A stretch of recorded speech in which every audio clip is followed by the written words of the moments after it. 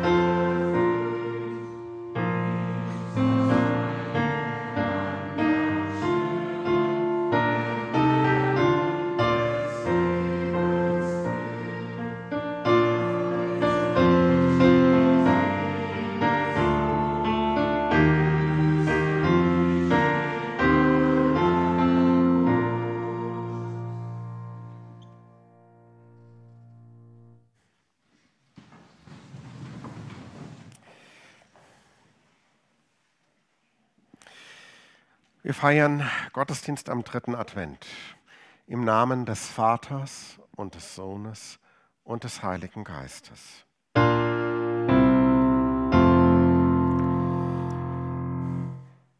Die Nacht ist vorgedrungen, der Tag ist nicht mehr fern. So sei nun Lob gesungen dem hellen Morgenstern. Auch wer zur Nacht geweinet, der stimme froh mit ein. Der Morgenstern bescheinet, auch deine Angst und Pein. Noch manche Nacht wird fallen auf Menschenleid und Schuld, doch wandert nun mit allen der Stern der Gottes Huld. Beglänzt von seinem Lichte, hält euch kein Dunkel mehr, von Gottes Angesichte kam euch die Rettung her. Kommt und lasst uns den Herrn anbeten.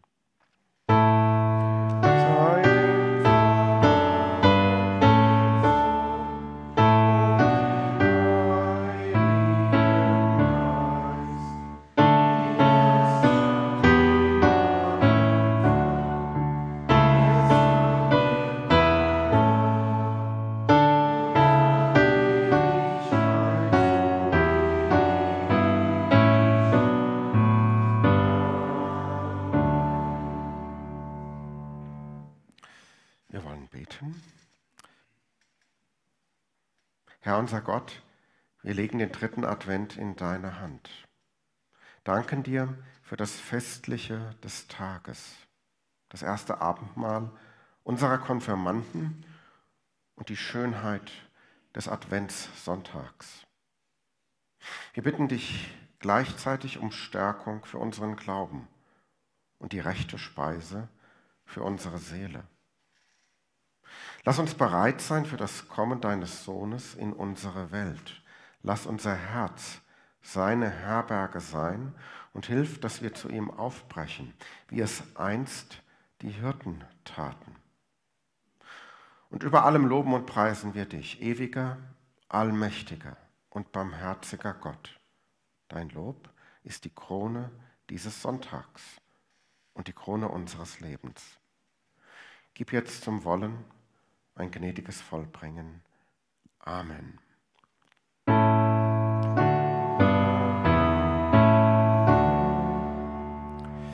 Bitte nehmen Sie Platz.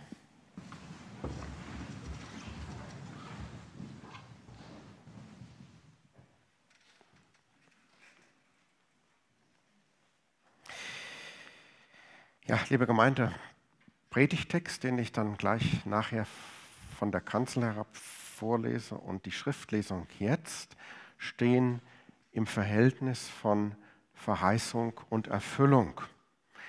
Jetzt lese ich erstmal die Worte der Erfüllung, also im Grunde genommen das, was an die zweite Stelle gehört. Das ist aber besser, wenn wir so vorgehen, weil der Predigtext ja die Grundlage für das ist, was ich dann auf der Kanzel sage. Jetzt also die Worte der Erfüllung. Lukas Kapitel 3, die Geschichte von Johannes dem Täufer. Im 15. Jahr der Herrschaft des Kaiser Tiberius, als Pontius Pilatus Statthalter in Judäa war und Herodes Landesfürst von Galiläa und sein Bruder Philippus Landesfürst von Itorea und der Landschaft Trachonien und Lysanias Landesfürst von Abilene, als Hannas und Kaiphas hohe Priester waren da geschah das Wort Gottes zu Johannes, dem Sohn des Zacharias, in der Wüste. Und er kam in die ganze Gegend um den Jordan und predigte die Taufe der Buße zur Vergebung der Sünden, wie geschrieben steht im Buch der Reden des Propheten Jesaja, Kapitel 40. Es ist eine Stimme eines Predigers in der Wüste. Bereitet den Weg des Herrn und macht seine Steige eben. Alle Täler sollen erhöht werden und alle Berge und Hügel sollen erniedrigt werden. Und was krumm ist, soll gerade werden und was uneben ist, soll ebener Weg werden. Und alle Menschen werden den Heiland Gottes sehen. Selig sind, die Gottes Wort hören und bewahren. Halleluja.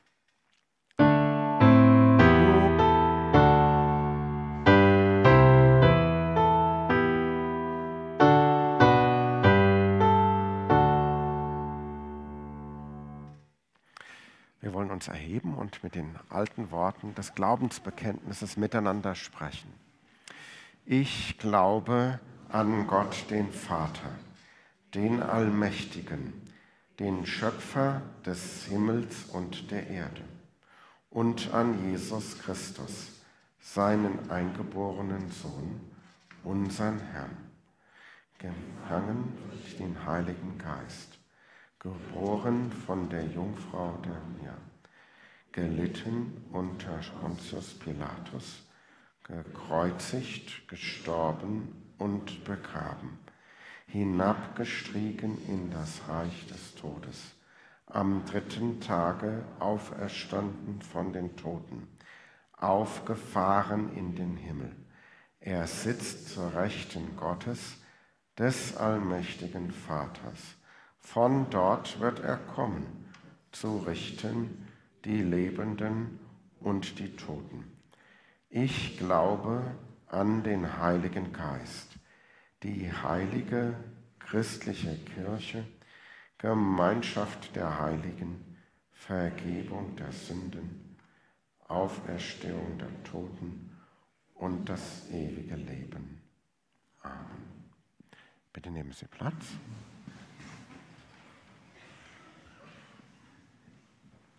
Ja, wir singen jetzt Macht hoch die Tür, ein adventliches Lied.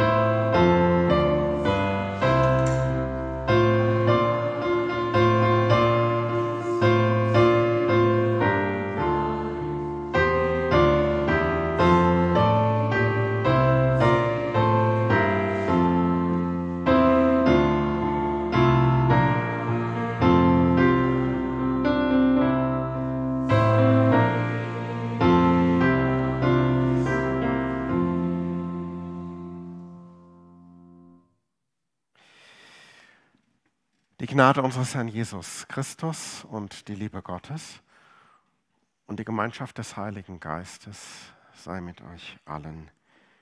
Amen. Wir hören den Predigtext für den dritten Advent aus Jesaja Kapitel 40. Es ist die Verheißung zu der Erfüllung, von der wir eben unten am Altar hörten, die Worte über Johannes den Täufer. Jetzt aber die Verheißung, die ungefähr 600 Jahre zuvor ausgesprochen wurde. Jesaja Kapitel 40. Tröstet, tröstet mein Volk, spricht euer Gott. Redet mit Jerusalem freundlich und predigt ihr, dass ihre Knechtschaft ein Ende hat, dass ihre Schuld vergeben ist, denn sie hat doppelte Strafe empfangen von der Hand des Herrn für alle ihre Sünden. Es ruft eine Stimme, in der Wüste bereitet dem Herrn den Weg, macht in der Steppe eine ebene Bahn unserem Gott. Alle Täler sollen erhöht werden und alle Berge und Hügel sollen erniedrigt werden und was uneben ist, soll gerade und was hügelig ist, soll eben werden. Denn die Herrlichkeit des Herrn soll offenbar werden und alles Fleisch miteinander wird es sehen, denn des Herrn Mund hat geredet.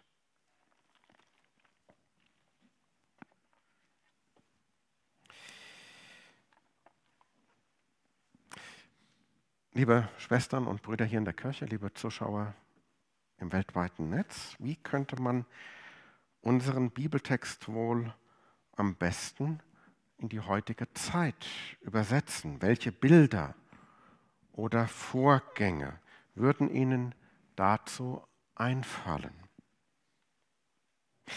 Ich musste an die Aufkleber denken, die ich immer öfters an Autos entdecke.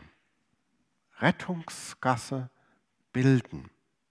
So lautet der Slogan einer Kampagne unserer Polizei. In jüngster Vergangenheit ist es nämlich immer wieder vorgekommen, dass bei Unfällen der Weg für die Rettungskräfte nicht frei war weil Autofahrer ihr Fahrzeug nicht zur Seite steuerten. In manchen Fällen hatte das allerschlimmste Folgen für die Unfallopfer. Deswegen musste die Verkehrspolizei reagieren, Rettungsgasse bilden. Wie kann man das auf das Feld des Glaubens übertragen? Nun, da gibt es als erstes ein Rettungsfahrzeug. Es ist der Notarztwagen. Der Notarzt heißt Jesus Christus. Er will gerne helfen. Er will sich um verletzte Menschen kümmern. Und wir brauchen den Verband, den er anlegen, die Medizin, die er auftragen, die Infusion, die er geben will.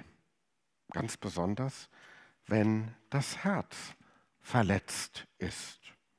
Das ist in unserem Lande gang und gäbe und sehr gefährlich. Menschen sterben an verletztem, an gebrochenem Herzen. Was brauchen wir dann? Den Notarzt, der Jesus Christus heißt. Er verfügt sogar über magische Kräfte. Das kann man nur über ihn sagen. Und ich sage es, damit wir Zutrauen zu ihm fassen. Wenn du also ein verletztes Herz hast, dessen Blutung unbedingt gestoppt werden muss, dann ruf den Notarzt Jesus Christus. Er kennt sich mit Blutungen allerbestens aus. Einmal hatte er mit einer Patientin zu tun, an der alle Ärzte gescheitert waren. Zwölf Jahre lang schon litt sie an Blutungen, die niemand stoppen konnte, bis Jesus ihr seinen Verband anlegte. Da wurde sie auf der Stelle gesund. Jetzt bitte ich um euer Nachdenken dazu, die Frage, was ist für Jesus wohl schwerer? Einen schon zwölf Jahre alten Blutfluss zu heilen oder mein blutendes Herz. Und wenn Jesus das eine kann, warum nicht auch das andere? Auch die Mädchen und Jungen, die unsere Konfirmandenstunde besuchen, können an einem verletzten Herzen leiden. Der Unfall ereignete sich vielleicht in der Schulklasse, als die anderen mich verlacht haben. Oder zu Hause, als die Mutter kalt zu mir war, die mich doch lieb haben sollte. Als der Vater herabsetzende Worte sprach, der mich doch ermutigen sollte. Oder als die Eltern dich zurücksetzten, aber deine Geschwister vorzogen. In so einem Fall blutet das Herz auch schon mit acht, zehn oder zwölf Jahren. Wen brauchst du dann? Jesus, den Notarzt, der die Blutungen stillt. Ich möchte ein Beispiel dafür nennen, damit das Raum greifen kann in unserem Herzen. Auf unserem YouTube-Kanal können Sie die Videos von Michael Stahl herunterladen. Und im Kirchturm hier vorne liegen die Bücher mit seiner Lebensgeschichte aus. Jeder von uns kann es lesen oder im Internet anschauen. Wie sehr sein Herz geblutet hat, als er acht Jahre alt war. Er fragte seinen Vater, was er wohl zum Geburtstag bekommt. Und der Vater spuckte ihm ins Gesicht und fragte zurück, ob das wohl Geschenk genug für ihn sei, seinen bösen, ungezogenen Sohn. Ich kann mir gar nicht vorstellen, wie sehr das Herz dieses Jungen geblutet haben muss. Aber später im Leben hat er den Notarzt Jesus gerufen. Und der hat nicht nur die Blutungen gestillt, sondern auch die Wunden geheilt, den gestörten Vater zurechtgebracht und obendrein und als Gipfel das Wunder der Versöhnung zwischen beiden, zwischen Vater und Sohn bewirkt. Wer macht so etwas, liebe Gemeinde? Wer kann das? Jesus Christus, der Notarzt der, der unser aller Wunden verbindet. Das will ich heute Morgen zur Ehre seines Namens sagen. Jesus ist der große Notarzt. Was ist jetzt aber mit der Rettungsgasse, die wir bilden sollen? Im Bild gesprochen würde das ja heißen, macht die Bahn frei für den Notarzt, macht die Bahn frei für Jesus. Geht das überhaupt? Ihn blockieren, den Mann mit den magischen Kräften? Ja, genau das sagte der Bibeltext. Der Notarzt kommt, macht bitte den Weg für ihn frei. Samstag vor einer Woche haben wir uns in der Konfirmandenstunde damit beschäftigt, was das sein kann und womit wir ihn möglicherweise blockieren. Wir haben an die Mädchen und Jungen ein DIN A4-Blatt ausgeteilt, auf denen ein paar Möglichkeiten vermerkt waren. Sie waren alle in der Ich-Form gehalten. Also das Wort Ich stand am Anfang eines jeden Satzes. Zum Beispiel, ich habe nicht geholfen. Ich habe nicht geteilt. Ich habe nicht um Verzeihung gebeten. Oder ich habe nicht vergeben. Ich habe schwache Menschen verachtet. Ich war lieblos zu anderen.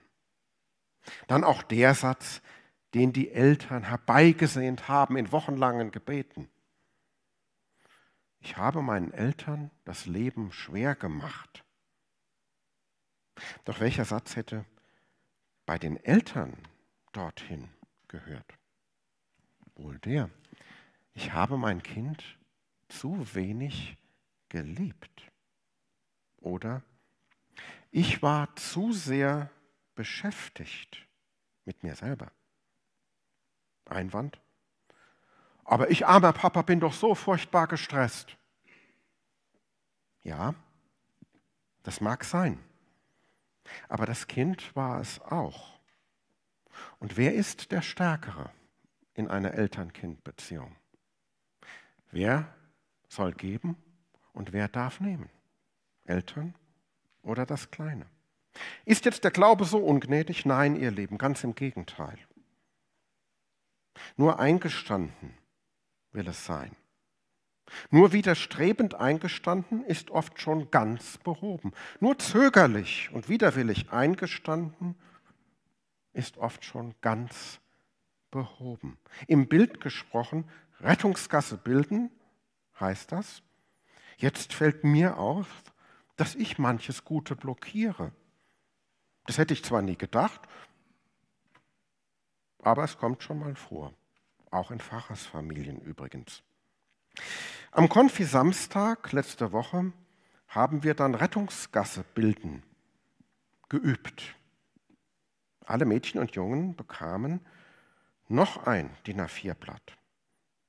Auf dem stand ein Gebet, die Worte, lieber Gott, ich muss zugeben, dass ich erstens und dass ich zweitens und dass ich außerdem noch Drittens, drei Sätze sollte sich jedes Mädchen und jeder Junge aussuchen. Alle begannen mit dem Wort Ich, das ist das Allerwichtigste. Wenn ich mit meinem Auto den Rettungswagen blockiere, dann ist es vollkommen wurscht, wenn vor mir zehn andere das auch noch tun. Ich bin immer der Erste, der zur Seite fahren muss. Und es war so wunderbar, als wir das dann auch gemacht haben. Wir haben in Manderbach vor der Kirche ein Feuerchen entzündet und alle Konfirmanden durften ihr Blatt mit den drei Ich-Sätzen feierlich verbrennen. Das war ein so wunderbarer Augenblick, richtig heilig, auch wenn es nur vor der Kirche war. Und ich stand daneben und auf Anweisung meiner Frau habe ich jedem Einzelnen die Gnade des Notarztes zusprechen dürfen. Die Worte, wenn wir unsere Sünden bekennen, ist er treu und gerecht, dass er uns die Sünden vergibt und reinigt uns von allem Bösen. Exakt das Gleiche werden wir gleich in der zweiten Halbzeit unseres Gottesdienstes tun. Wir werden das Abendmahl feiern. Darin kommt vor, dass wir erstens zunächst zugeben, dass wir Gnade brauchen. Wir werden dazu das Gebet aus der Nummer 801 im Gesangbuch beten, miteinander sprechen. Da kommt vor, naja, ich brauche Gnade. Ich brauche Hilfe. Ich wollte das Richtige für meinen Sohn, meine Tochter in der letzten Woche. Hat nicht so ganz gelangt. Ne? Oder ich wollte das Beste für meine Mama, meinen Papa, ich wollte lieb sein, hat nicht gelangt. Dann folgt der Vergebungszuspruch genau mit den Worten wie eben gehört. Wenn wir unsere Sünden bekennen, nicht nur zögerlich eingestanden, ist schon halb geheilt. Der Vergebungszuspruch, wenn wir unsere Sünden bekennen, ist er treu und gerecht, dass er uns die Sünden vergibt.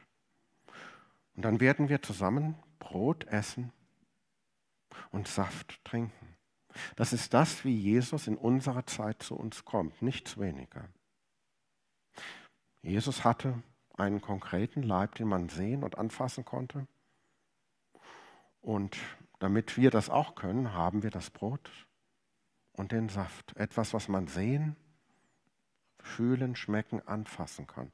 Und er hat gesagt, er kommt in diesen Elementen zu uns. Das ist nicht so leicht zu glauben, tut es besser auch wenn unser kleiner Verstand nicht mitkommt. Das macht gar nichts. Es gibt so viele Dinge in der Welt, die wir nicht verstehen. Den Worten Christi glauben wir besser. Er kommt in diesem Brot und in diesem Saft als der Notarzt zu uns. Wo sind wir dann in dem Augenblick? Wir sind das Unfallopfer. Wir sitzen in, ein, in einem Wagen, nicht? Es hat gekracht, wir sind verletzt. Und dann kommt der Notarzt, legt seinen Verband an, zieht uns aus dem Auto heraus, versorgt uns. Und wenn er dann erst da ist, wird alles gut. Das ist das Geheimnis von Jesus. Wenn er da ist, wird alles gut. Er macht alles heil. Er bringt alles zurecht. Wer es glaubt, wird selig. Amen. So, jetzt kommen unsere Musiker mit God will make a way. Das ist dasselbe auf Englisch. Gott wird einen, eine Rettungsgasse bilden für uns alle.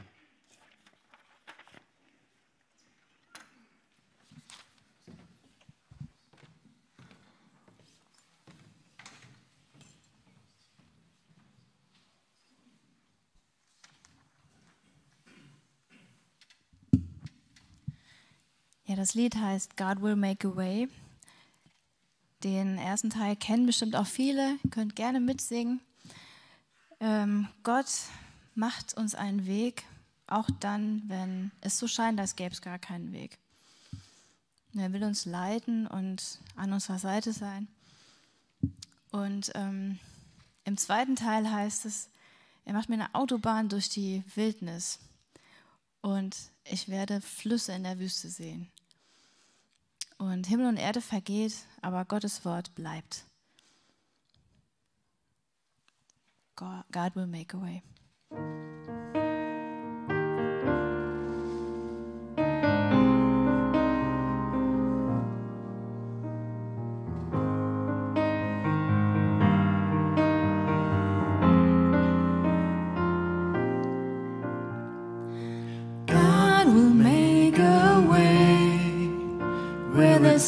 Seems to be no way. He works in ways we cannot see.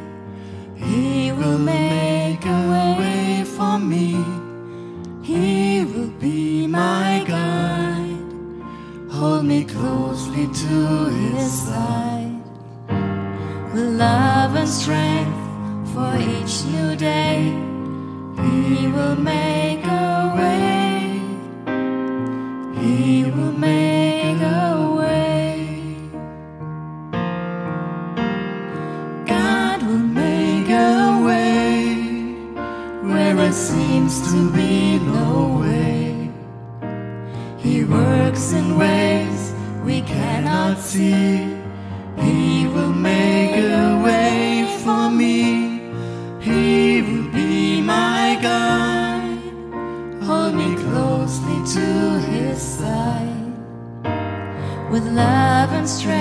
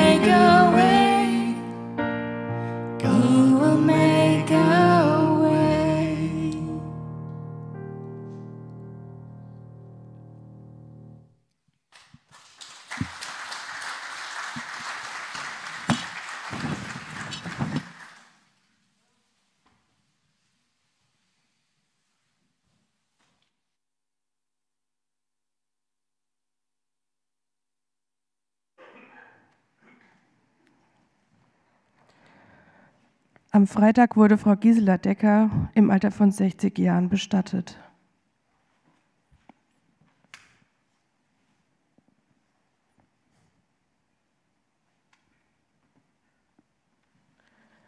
Die Schrift sagt, wir haben hier keine bleibende Stadt, sondern die zukünftige suchen wir.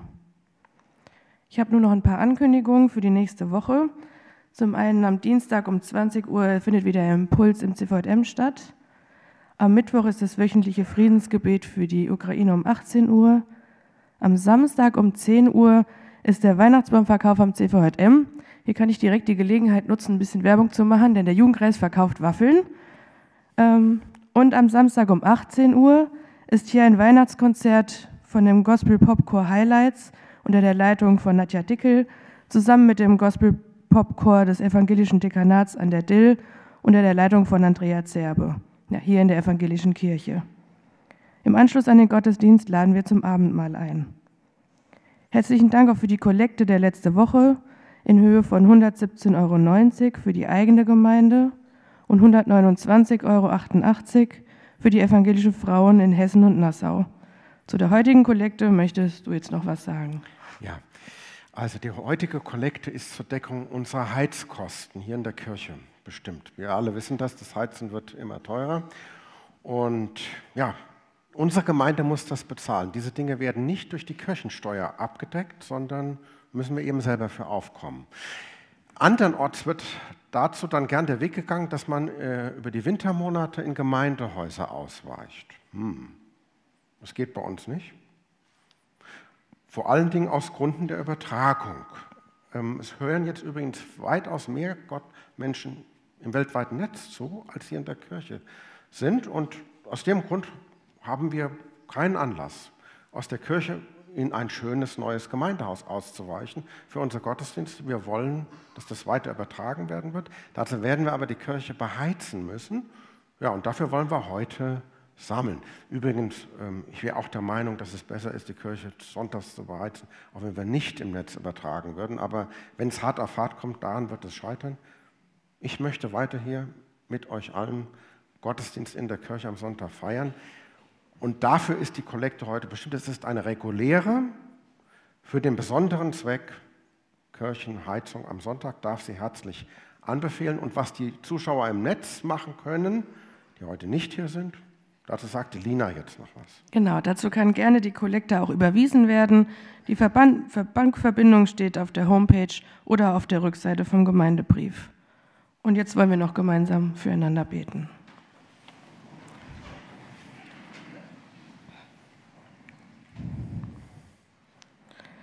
Lieber Vater, wir bitten dich um eine besinnliche Vorweihnachtszeit. Schenke du uns immer wieder Momente der Ruhe und Gelegenheiten, uns auf das Weihnachtsfest vorzubereiten und zu freuen.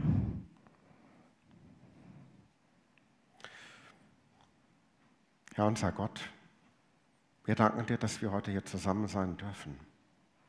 Wir bitten um deine Gnade sowie um deinen Besuch, Herr Jesus. Du bist der Notarzt.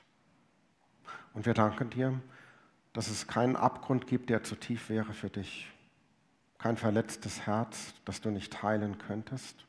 Keine Schuld, die du nicht vergeben könntest.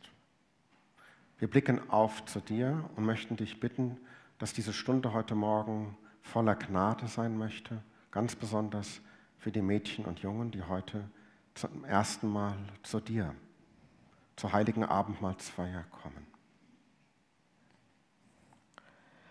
Lieber Vater, sei du in dieser Zeit auch bei den Kranken, Trauernden und den Menschen, die sich einsam fühlen. Zeige du ihnen, dass du immer bei ihnen bist. Herr unser Gott, in der vergangenen Woche mussten wir Gisela Decker zur Grabe tragen. Wir danken dir, dass dein Weg mit uns nicht an den Gräbern endet.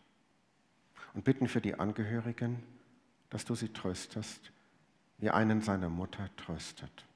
Gemeinsam beten wir laut, Vater unser im Himmel, geheiligt werde dein Name, dein Reich komme, dein Wille geschehe wie im Himmel, so auf Erden.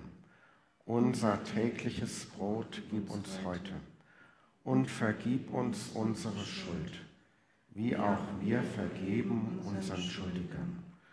Und führe uns nicht in Versuchung, sondern erlöse uns von dem Bösen.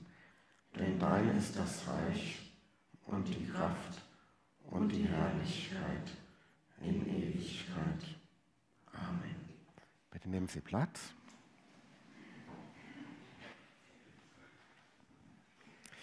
Ja, unsere Nadja und Steffen wollen jetzt einen äh, Kanon mit uns einüben. Ich freue mich darauf.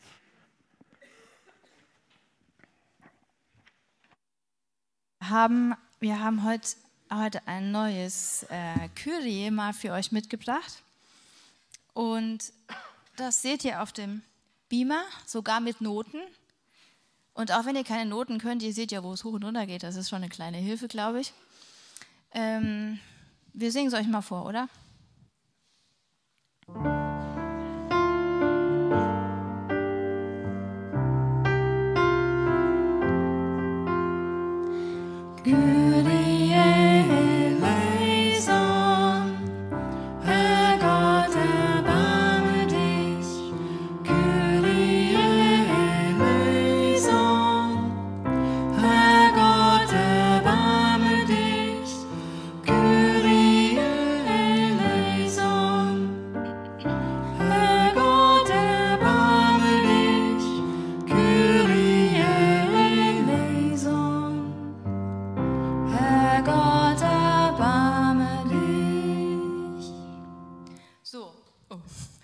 Das ganze Ding. Und äh, wir möchten euch das jetzt gerne beibringen und machen das mal Zeile für Zeile. Also wir singen, äh, wir singen vor, ihr singt nach.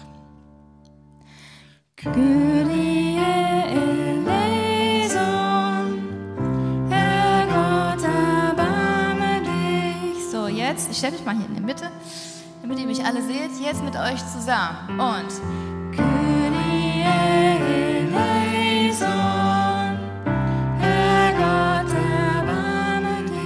Schön nochmal. Und.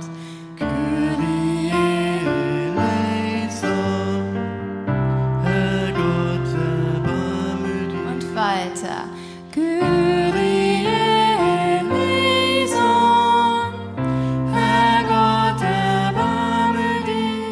Jetzt singt ihr mit. Und das ist übrigens derselbe Ton, mit, äh, der in der zweiten Zeile anfängt, wie die erste Zeile aufhört. Als kleiner Tipp. Und. Kyrie eleison, Herrgott, erbarme dich. Nochmal. Kyrie eleison, Herrgott, erbarme dich. Teil 3 fängt wieder mit derselben Note an. Wir singen vor.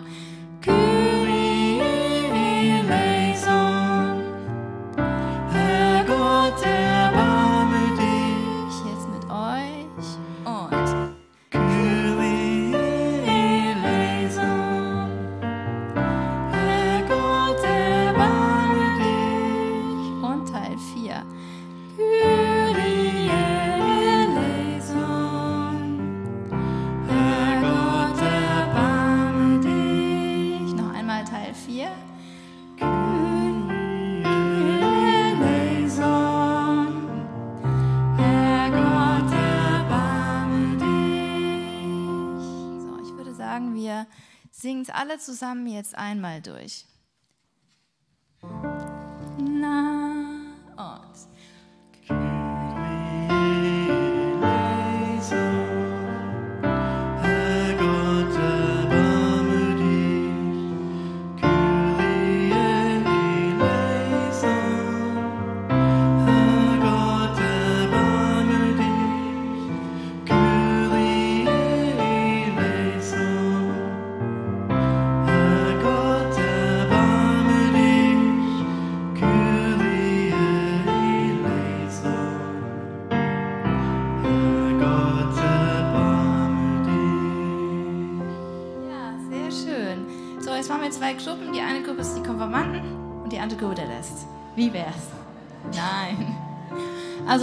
Seht, es ist eigentlich für vier Gruppen.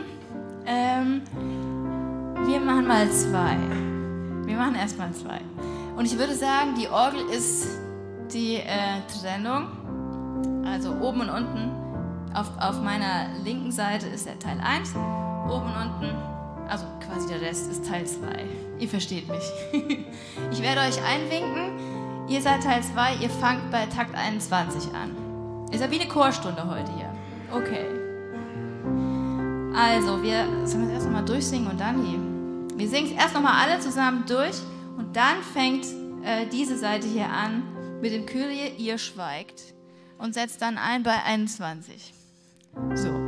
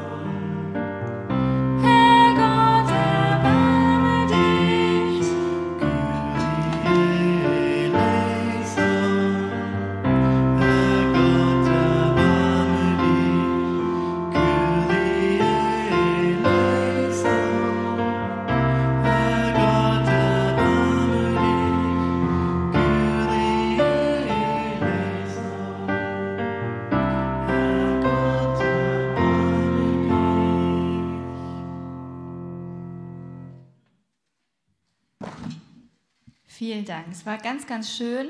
Äh, Ich habe auch eine, durchaus eine Zweistimmigkeit gehört. Aber das werden wir jetzt immer mal ein bisschen üben und irgendwann haben wir dann auch vier Gruppen. Sehr schön, vielen Dank.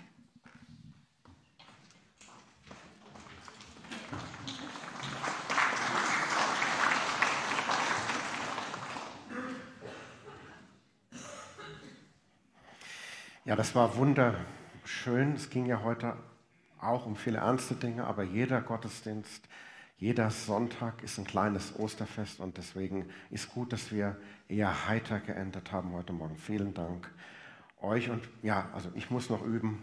Kommt wieder und übt mit uns. Ne? Ja, wir machen jetzt gleich weiter mit der Abendmahlsfeier. Darf Sie herzlich dazu einladen. Wir heben uns jetzt dann zum Segen. Und hören gleich im Anschluss dann noch das Nachspiel vom Stefan Runzheimer sitzend. Gott, der Herr, segne euch und behüte euch. Der Herr lasse leuchten sein Angesicht über euch und sei euch gnädig. Der Herr erhebe sein Angesicht auf euch und schenke euch seinen ewigen Frieden. Amen.